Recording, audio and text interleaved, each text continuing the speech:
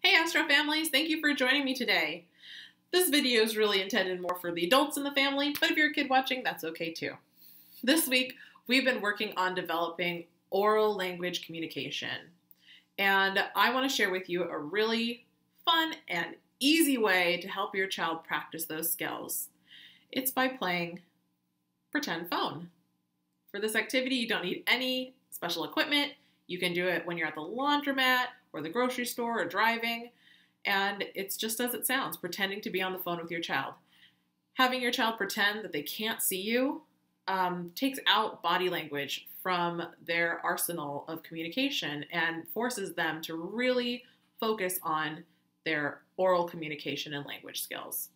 In your activity packs this week, you will see that we supplied everyone with a whisper phone, which has the added benefit of aiding your child to hear their own speech more clearly. The phone directs their speech up to their ear and they can hear their own pronunciation. And this will really help if you have a child that maybe has a bit of a lisp or they're having trouble with their R's or any of the um, speech delays that we see that are very typical during the preschool years.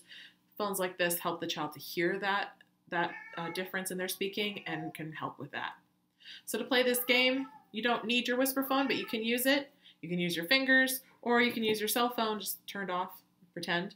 Um, and you just have fun and just have fun with it.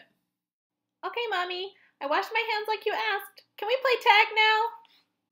Well, I can't right now because we're waiting for dinner to come out and it's going to be here in a few minutes. But why don't we play telephone while we wait? Go get your whisper phone. Okay, I got it.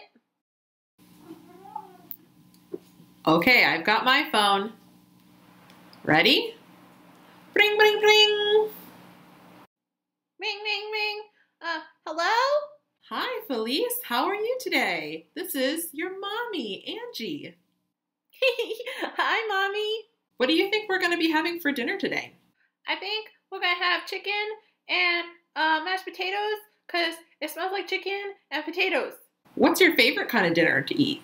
Sometimes I like chicken and mashed potatoes, but my I like pizza and macaroni and cheese and french fries too. You know, I had a really busy day today. How was your day? Good. It was a good day. Can you tell me more about what you did? First, I did my school, and then I drawed a picture, and then I went on my bike, and then I read a book, and then I talk on the phone with you. My day was extra busy because I had to work in the morning and then go get your brother from soccer practice. And I came home and I had to do laundry and make dinner at the same time. Ooh, I'm really tired. Uh huh. Ooh, I just heard the bell go off for our chicken. I better go get it out of the oven. I'll talk to you later, okay? I love you. Yay, dinner time! I love you too, Mommy. Playing pretend phone with your child is a great way to get them using their language skills. I hope that you take a moment this week to play this game with your child and let us know how it goes. Don't forget to use lots of open ended questions. Those are questions that require more than one word to answer, such as our why questions or how or what do you think questions. Until next week, thanks for joining me. Bye bye.